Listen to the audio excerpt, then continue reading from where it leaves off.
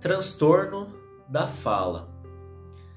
Pode ser caracterizado como uma dificuldade na produção e articulação de fonemas, que são os sons individuais que produzimos.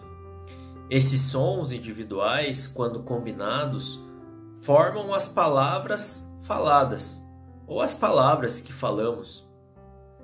Assim, é importante que se tenha conhecimento fonológico dos sons da fala, assim como da capacidade de coordenar os movimentos articuladores para essa fala.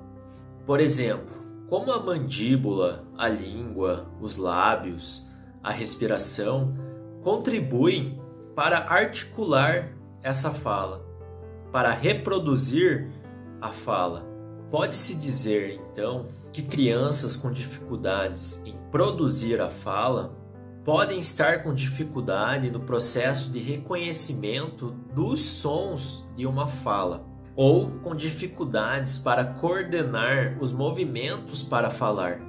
Nesse sentido, no âmbito do transtorno da fala, também pode-se encontrar o transtorno fonológico e o transtorno da articulação. O transtorno da fala é diagnosticado quando a produção da fala não apresenta os resultados esperados para uma determinada idade e conforme o desenvolvimento da criança.